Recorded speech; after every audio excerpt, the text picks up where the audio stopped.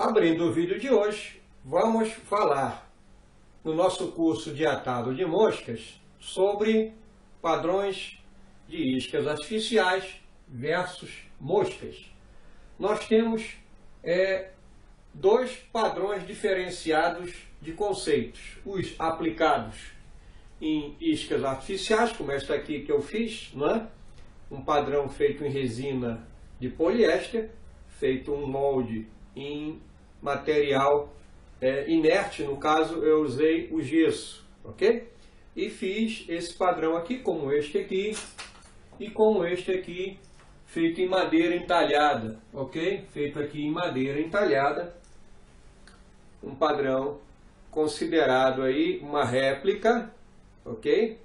Um padrão conceituado, eu não vou ficar aqui eh, vendendo peixe para quem trabalha com vendas de isca artificial, mas é, quem é do ramo, quem conhece pesca esportiva, sabe, batendo os olhos, que padrão de isca artificial seria esse ou outro qualquer, ok? O fato aqui é que já fui é, consultado por pessoas na internet, inclusive um rapaz do Amazonas que está fazendo a sua formação acadêmica em engenharia de pesca, sobre quais seriam as melhores iscas artificiais ou moscas que funcionariam melhor e ele vai defender uma tese com esta teoria. A efetividade da eficiência de iscas artificiais ou moscas para pesca. Alguma coisa sobre este padrão. Fiquei muito honrado de saber, ajudei no que pude e o meu conceitual de hoje foi justamente abrir um parêntese entre o nosso curso de atado, que foca mais para o atado de moscas, como se encontra aqui, do que iscas artificiais, coisa que eu já fiz há muito tempo atrás. Né? Então, eu, em um grupo que participo, houve um levantamento de fato que era talvez muito difícil se fazer um, uma isca artificial utilizando o espinho de paineira. Né? O espinho de paineira, para quem não conhece, ela é uma planta, é uma árvore frondosa, existe de várias colorações, creio que amarela, branca, rosa, não tenho mais certeza se em outros tons. Mas, dependendo da espécie, o espinho pode chegar até 7 centímetros, vamos dizer assim. Acho que eu tenho aqui na minha área, chega a 3, 4 centímetros. Então, com esses espinhos, eu elaborei o conceitual manjubinha. O conceitual, já diz o nome, vem a ser um conceito de montagem de uma isca artificial, saindo um pouco fora do nosso contexto de atar moscas. Mas lembrando que o, meu conceitual principal, como vim da isca artificial para o fly, eu trouxe muita bagagem do trazer a, o conceito da isca artificial para dentro do fly, ou para dentro da mosca atada. Então eu procuro colocar, agregar cabeças em streamers, é, trazer caudas e outras coisas, mas como foi no Minnow cauda flexível. Né? Aqui eu tenho um exemplo aqui de um, é, de um peixinho, vamos dizer assim, de uma mosca, que tem a cabeça muito trabalhada para uma mosca, é uma mosca do tubo, como esse sardinhão também eu trabalhei aqui. Então isso traz o que? Um mix, uma mistura da isca artificial com o atado de mosca. Ele pode ser mixado sem você perder as características puristas, vamos dizer assim, tão é, é, defendidas por algumas entidades de classes aí, que é, abominam certos tipos de moscas, que é um direito de todos não concordarem com tudo. Por isso o mundo é democrático, é, ele sempre vai ser melhor, não é? é? Com isso eu desenvolvi esta filosofia unindo dois é, espinhos de paineiras e entalhando a mão com a minha faca, que eu tinha feito já há muito tempo, uma faca no estilo japonês, chamada Kiridashi.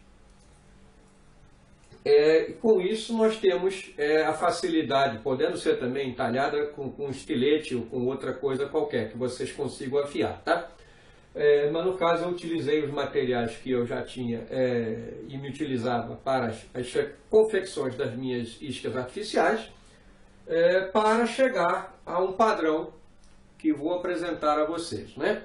Seria um juvenil de truta arco-íris, mas usando o conceitual manjubinha, que foi a forma que eu batizei este conceitual aqui, tá? Utilizando o espinho de paineira. Mas só posso fazer com espinho de paineira? Não você pode fazer com qualquer material. Acrílico, plástico, tá? Você pode fazer com resina de poliéster, resina epóxi, durepox, madeiras de N tipos, tá bom? Existem várias maneiras. Quem gosta e se atrai também por iscas artificiais e moscas, eu sei que tem muita gente ainda que assiste os vídeos aí e gostam das duas modalidades de pesca, né, da isca artificial, como também a isca de mosca, no caso, ou isca natural, tá? Eu, eu sou aberto à modalidade de pesca. Eu pesco de todas as formas, tá bom? Então eu não tenho preconceitos é, vinculados a só uma modalidade, tá bom? Eu sou uma pessoa aberta nesse sentido.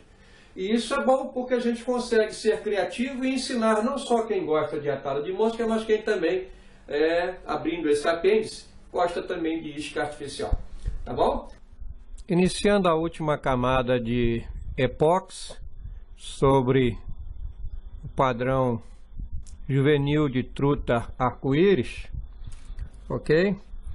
É, de forma que o mesmo fique bastante resistente e atinja a qualidade desejada a um padrão de isca artificial ou bait lure, ou como vocês gostam aí de mencionar uh, esse tipo de isca, né? É, eu já fiz variados padrões de betilures iscas artificiais. Esta foi feita em dois dias. O primeiro dia eu executei o desenho e separei os materiais, que no caso foi um, um processo que é, gerou comentários no grupo Tucuna Fly, grupo que eu estou administrando, convidado pelo amigo Paulo Vorcaro. E o espinho de paineira é utilizado para fazer algumas moscas, né?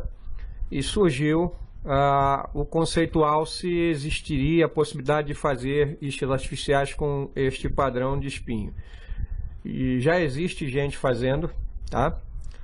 O amigo Vanderly Cardoso já está fazendo, ele já faz isso já tem anos. Alguns divers e alguns poppers com espinho de paineira e já estava desenvolvendo algumas iscas com o spin de paineira. O projeto de um plug deste tamanho, de isca artificial, ele não requer grandes trabalhos, como esse foi feito em dois dias, é, poderia ser feito até em um dia, até pelo tamanho da, da peça ser de 50 milímetros ou 5 centímetros. É uma peça bem simples, não tem Rattler interno, ou seja, não tem chocalho, tá? Não tem sonorizador interno, é um padrãozinho seco, muito simples, feito num padrão é, de conceitual de construção muito, muito simples, acabamento feito com folha de alumínio, não foi entalhada a cabeça, tá? E aplicado o olho 3D e a armadura também muito simples, a parte onde vocês têm o pitão de cauda, de barriga e da cabeça. Muito simples de fazer, fácil, é, requer só um pouco de habilidade e conhecimento de causa que se pode ser adquirido hoje em dia em sites, revistas especializadas sobre esse assunto e em alguns fóruns também que se destinam a apresentar este padrão de conceitual de handmade lure ou iscas feitas de forma manual. Eu vou trazer a vocês aqui que este material inusitado pode ser não só o espinho de paineira, como também a chapa de balsa convencional que nós encontramos, né? Ou outra madeira muito similar, não é? que tenha esta leveza e macieza. Não é? Cortamos uma tira, é uma tirinha, e com esta tira é só modelar o padrão seguindo algum modelo pré-existente ou desenvolvido pelo construtor. É, só existe esse material, madeira, para fazer? Não. Existe também a possibilidade de você usar até o cabo de uma escova de dente, esta aqui, né? Está quebrada. É só cortar, aplicar a ferragem, seguindo o passo a passo deste padrão, modelar aqui, ou pintar, ou acrescentar aqui a folha de alumínio, seguindo algum raciocínio meu ou de outra pessoa qualquer, e vocês têm uma isca artificial, ok? Então existem N materiais. Um outro material aí, quem tem dificuldade de encontrar uma balsa ou outra madeira leve, é se utilizar de, por exemplo, até de palitos de sorvete, reciclando materiais de novo na natureza, né? aproveitando o que já tem aí e vai ser descartado. O palito existe em vários padrões, né? a gente sabe. É, se juntando vários, se consegue obter uma estrutura corporal. Aqui nós temos esse outro padrão de palito aqui. É, se juntando dois, três a quatro, vocês têm mais ou menos a estrutura do corpo, né? E o shape está quase aqui. Daqui dá para fazer até dois plugzinhos pequenos, né?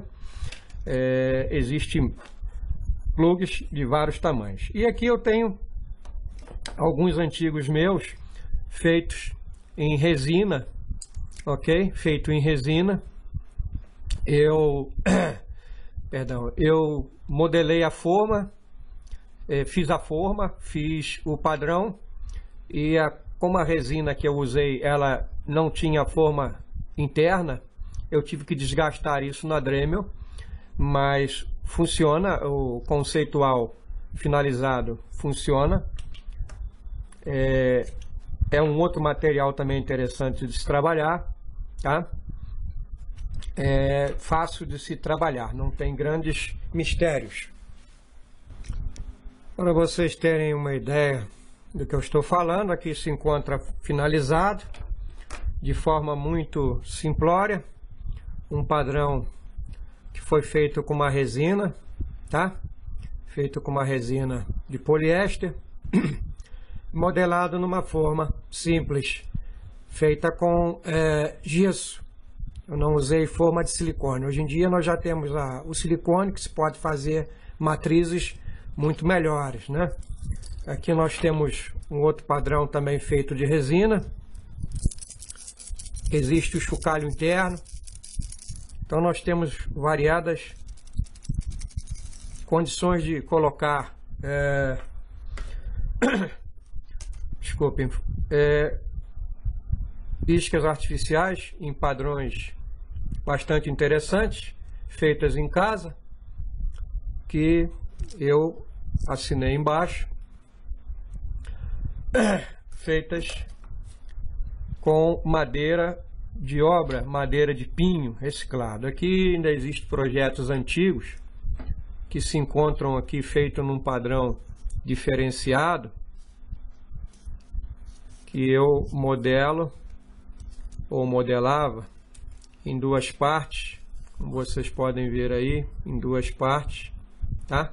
Aqui dentro ainda vai ser toda escavada para se colocar todos os itens necessários, é fechado e depois aplicado a barbela e a pintura e os acabamentos. Existe então um padrão mais elaborado com cabeças entalhadas ok? Que eu não finalizei, mas este padrão aqui, ele é feito no conceitual japonês, existem várias metodologias de se fazer iscas artificiais, esta aqui é um conceitual, ok? Que eu aplico uma fita dupla face aqui, para unir as duas peças, ainda virgens, né? Sem a modelagem, sem o shape, e depois é feito o entalhe destas partes todas, é lixado e depois é feito a ferragem, a marcação das ferragens, a colocação de barbela, né? Existem padrões que são feitos inversos, com a curva virada para cima, como se a truta tivesse, essa é uma imitação de uma truta, é, tivesse morrendo, né? É um padrão de isca artificial de uma truta. É, existe em escala menor também. Esses padrões eu não finalizei, eu deixei de lado a isca artificial, eu fazia as minhas. Existem vários conceituais aí que eu aplicava, que me identifiquei. Aqui é o espaço para se encaixar a barbela, muito similar a desse padrão aqui, que é encaixada também com acrílico nesta cavidade aqui que é escavada, ok? Existem padrões aí para quem aprecia a, o conceitual de iscas artificiais. Existem é, metodologias de se criar em duas partes, ou se criar só o shape, se fazer o talho, como foi feito nessa, é um processo mais fácil. Faz-se o talho aqui central, se aplica a ferragem e coloca-se a barbela, faz a finalização com pintura é, previamente para selar a madeira com selante, depois você usa um prime, depois você usa um... Existem várias metodologias, aplicar é, fita, fita de Existem conceituais que se podem aplicar dois pedaços externos e o interno ser então escavado para se colocar aqui os lastros, o ratling ou o chocalho, ok? E depois aí se fechar o padrão. Este aqui não foi finalizado também. Foi uma época da minha vida em que eu me dediquei a construir e pescar com iscas artificiais feitas em casa, uma forma de você conseguir obter é, padrões de iscas diferenciados, né? que podemos fazer réplicas usando barbela de PVC, de cano de PVC, né? É, você pode conseguir padrões que só você mesmo fazendo na sua casa, né? É, aplicando conhecimento de causa, você chega a este conceito. Espero então com este relato sobre um apêndice nas iscas artificiais que podem ser feitas de forma caseira, né? ou artisticamente falando, vocês agreguem um pouco mais de valor e conhecimento de causa. A pesca esportiva é um universo gigantesco de exploração e estudo. Eu confesso a vocês que ainda não sei nada sobre pesca esportiva e a modalidade do fly fishing. Ainda estou por desvendar e descobrir inúmeras maneiras e conceituais que existem no mundo e que ainda vão ser descobertos e aplicados com sucesso. Finalizando então o nosso vídeo, nós temos aqui na minha morsa já finalizado o padrão conceitual Manjubinha com a pintura de um juvenil truta arco-íris. Podemos trazer em qualquer outra pintura ou qualquer representação de qualquer peixe, dependendo do que você precise aplicar aí de acabamento, certo? É, se aproximando mais para peixes de água salgada ou de água doces, ou forrageiros, como queira.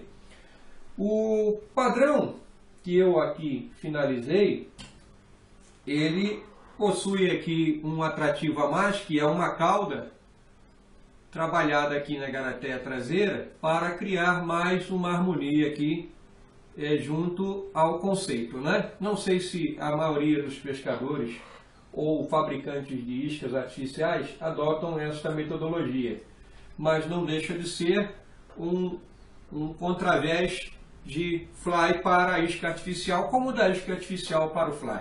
Eu acho que o potencial de um sardinhão de dois anzóis, como este aqui, que é uma mosca de fly, como também este padrão com duas garateias, ok? É, plástico, né, material plástico sólido, pesado, que não vai ser conseguido arremessar por uma vara de fly, mas sim por uma vara de bait, né, de isca artificial, como também o padrãozinho Minocauda flexível, ok? Que é uma mosca e pode se aproximar aí de outros padrões de iscas artificiais, ok? Só que estes sendo arremessado por uma vara de fly. O que eu quero dizer com este vídeo, propriamente dito, é que polêmicas vão sempre existir dentro do conceitual pesca esportiva. O que eu acho que é, é bom e válido e saudável é sempre evitar críticas negativas, mas construtivas. Não ficar é, debatendo a demagogia de materiais agregados à mosca ou à isca artificial, ou ambas o importante é que seja funcional, seja artístico, para alguns casos, que não seja prático de se, de se fazer em quantidades absurdas, mas que seja levado em conta a pessoa que fez, o tempo que ela fez e o intuito que ela fez. É, muitas vezes a gente cria moscas ou iscas artificiais que não são feitas para ser usado em larga escala, mas sim para um capricho pessoal de poucos, ou até somente da pessoa. E isso muitas vezes não acontece este respaldo, quando assim apresentado a público. E fazem com isto muitos bons e talentosos brasileiros se calarem e se aventurarem a mostrarem seus trabalhos feitos com materiais alternativos, ou materiais não tão nobres, e isso mascara uma positividade que deveria ser levada em conta. Fica aí o meu alerta para quem faz as críticas negativas e o meu aplauso e o meu tirar de chapéu para quem realmente faz as críticas no sentido positivo, ok? Um grande abraço a todos que estão me prestigiando. Até o próximo vídeo.